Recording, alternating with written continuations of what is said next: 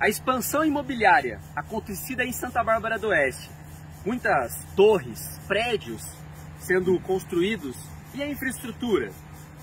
Nós temos essa estação que é uma elevatória que deveria elevar todo o esgoto coletado para a estação de tratamento de esgoto. No entanto, se não tiver a capacidade para fazer toda a parte que fica enterrada de infraestrutura, tubulações, sem falar em servidores e outras coisas que o Departamento de Água e Esgoto não consegue fazer a contento. Nós vamos ter problemas como este, que eu vou mostrar ali embaixo. Nós recebemos uma denúncia e ontem o vereador Isaac já veio nesse local. Nós estamos às margens do Ribeirão dos Toledos e a informação é que esgoto está sendo jogado no rio. Obviamente, nós não somos técnicos, mas o cheiro, a coloração da água, tudo indica que realmente seja uma ineficiência de uma estação elevatória que tem aqui no Beira Rio. Todo esgoto da área central é coletado aqui, trazido para esse local que vai ser bombeado, uma estação elevatória, porque vai elevar toda essa coleta até uma estação de tratamento de esgoto que fica aqui próximo. Mas pelo jeito está sendo jogado in natura esse esgoto no Ribeirão dos Toledos.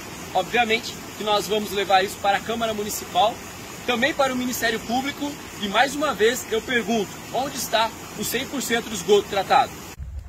Estação de tratamento de esgoto, ETE, Toledos 2.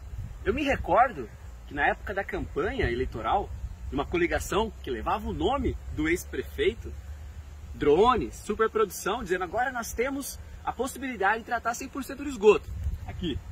Mas, se nós pensarmos na logística criada, ah, tem a possibilidade, mas como faz para trazer o esgoto para que ele seja tratado? E olha que não é só este ponto. O ano passado nós já mostramos no São Joaquim. Fora tantas outras denúncias que tem, inclusive com a prefeitura sendo autuada em mais de 60 mil reais pelo lançamento do Rio Piracicaba. Nós precisamos parar de marketing e reconhecer os problemas que existem, porque só aí nós vamos conseguir em busca da solução. 100% de esgoto tratado para quê? Cobrar 100%? Sendo que na verdade não se trata 100%? Fora o problema das taxas cobradas na cidade e fora o marketing que nós estamos mostrando que é irreal, nós temos o descompromisso com a população.